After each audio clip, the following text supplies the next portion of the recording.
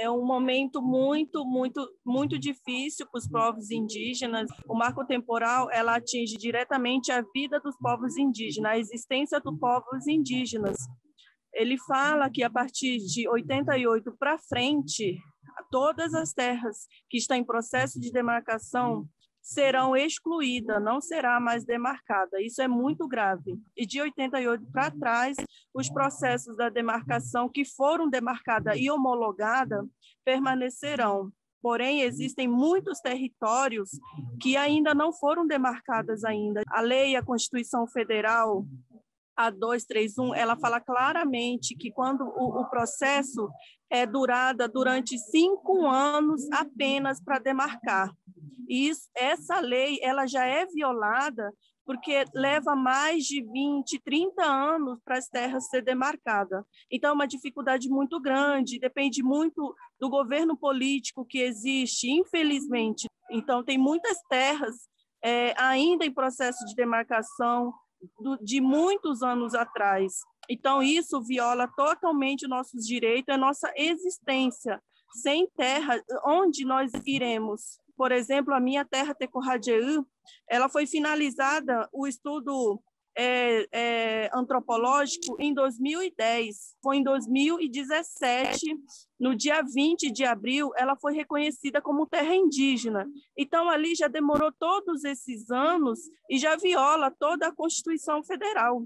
Então, isso é muito grave para nós. Isso é demora por, por conta da política. O governo atual hoje, o governo Bolsonaro, ele, todos os bolsonaristas são contra terras indígenas, né? São fazendeiros, é, são agronegócios, né? São muitas empresas, né? É, garimpeiros, né? Madeireiros, né? São essas pessoas ricos é que, que, que quer acabar com a demarcação, porque demarcar terra indígena é proteger a vida.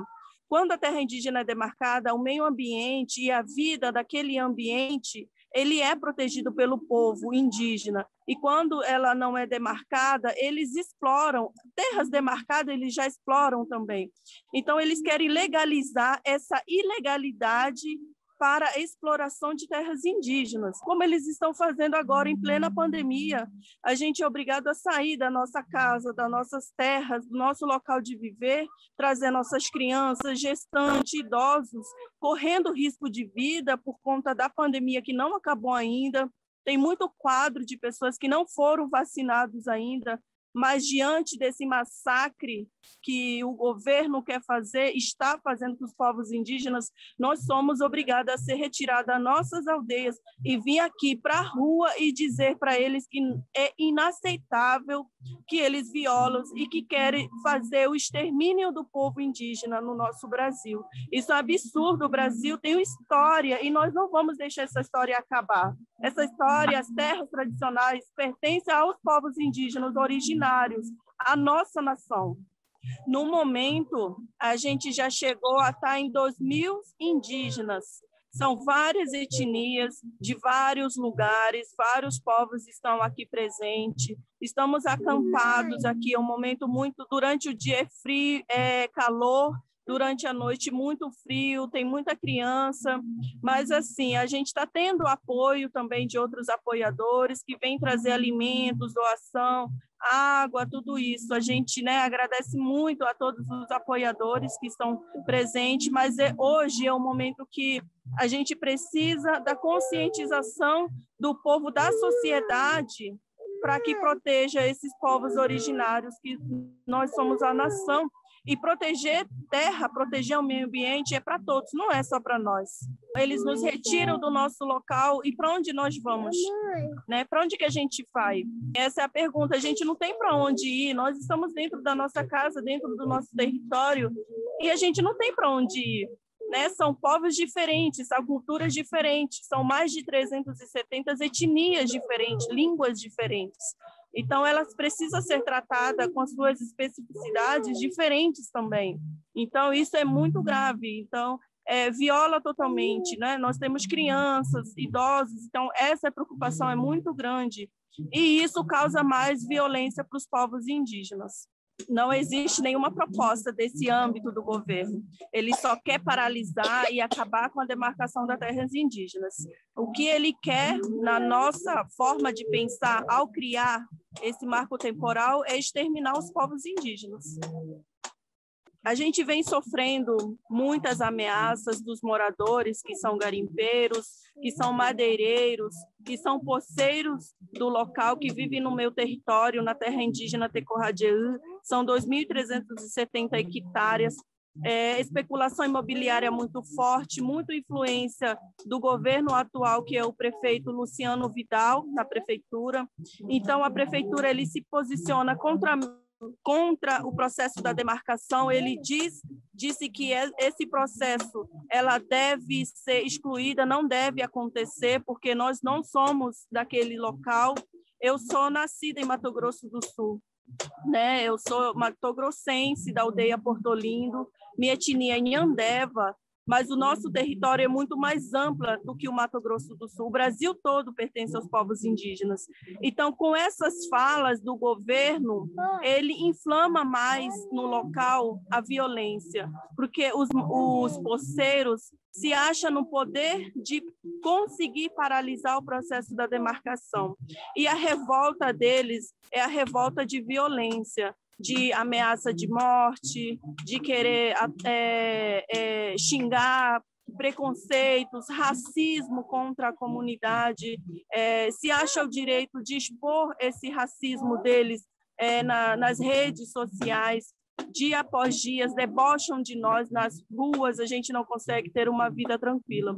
É esse tipo de governo é que faz com que a sociedade se comporta dessa forma.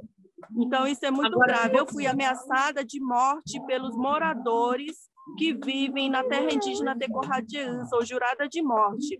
Em, 2000 e, em 2017, é, um dos moradores disse que mataria três indígenas é, para entregar seu, é, seu local de moradia. Então, em 2018, meu irmão foi assassinado depois de um ano, assim, mais ou menos, meu irmão foi assassinado, era vice-cacique do meu pai, foi assassinado com 42 anos. Isso é muito grave para nós, né? Essa violência cada dia inflama. Então, a, a, a situação é tão grave que eu fui incluída na proteção dos direitos humanos, na medida de proteção dos direitos humanos. É, em nenhum momento é, eu sinto medo. Eu não tenho medo porque a minha fé não vem não vem do nada, a minha fé vem de Nhanderu, que é uma coisa que não dá para explicar, é um sentimento que existe dentro de nós. Eu fui criada, né, minha família, é, minha família é hereditária de pajé, então, é, em nenhum momento eu sinto medo, eu sinto é preparada para essa luta, para defender meu povo, para defender minha família e mostrar para a sociedade que as mulheres ela tem força também, independente da gente é, fica assustada, sim, a gente fica preocupada com essas ameaças quando acontece, mas medo eu não sinto. Em relação à placa, foi colocada durante uma cerimônia de três dias e foi realizado o Encontro das Mulheres, do dia 3 a 6 de junho, na Tecorradiu. E foi feita uma grande cerimônia para apresentar a natureza, a mãe natureza, aos espíritos que nós estaríamos identificando nosso, ter, é, nosso território. A placa era da própria comunidade, que buscou recurso para construir, é, para mandar fazer a placa. Então, não era uma placa que estava dizendo, não, vamos demarcar terra, não, era informações que levava para as pessoas. E era importante essas informações para o turismo, para a própria sociedade ver que aqui, naquele local existe uma terra indígena, existem indígenas, então, depois de três dias, que colocamos no dia 6 de junho, a comunidade caminhou sete quilômetros da aldeia até BR-101, andando, carregando a placa, os chondaros guerreiros carregando a placa, dançando durante sete quilômetros e colocamos a placa. Fomos acompanhados pela Polícia Federal, pela Polícia Militar, do PDTH dos Direitos Humanos de Proteção, fomos acompanhados pela FUNAI, então estava tudo dentro da legalidade e aí os moradores covardemente, né, é, criando violência para o nosso povo, é, fez com que destruíram a nossa placa e quebraram, destruíram, jogaram fora, sumiram com a placa. A gente foi até o local no dia que isso aconteceu, fizemos um protesto pacífico, filmamos toda a caminhada para dizer que nós não vamos aceitar essa violência, nós não vamos nos calar diante, diante dessa violência. E por isso e nós fomos deparados com os gringos que vivem no território. Então, a, a, comunidade foi agredida fisicamente, verbalmente nesse dia. Está tudo filmado. Então, isso mostra o tipo da sociedade que vive em Paraty, né? E isso cada dia inflama por conta do governo também, né? O governo faz com que essas pessoas é, coloque né, toda essa violência para fora. A gente precisa muito que as pessoas não tenham mais medo, que as pessoas venha para as ruas, venha junto com nós gritar e dizer não ao marco temporal, que divulgue nas redes sociais, que dê sua opinião nas redes sociais, as pessoas fluentes possam pressionar também aos deputados, ao próprio governo, para que possa não a não a, não a marco temporal, né? Porque a gente precisa nesse momento que a sociedade entenda que não é só a luta dos povos indígenas.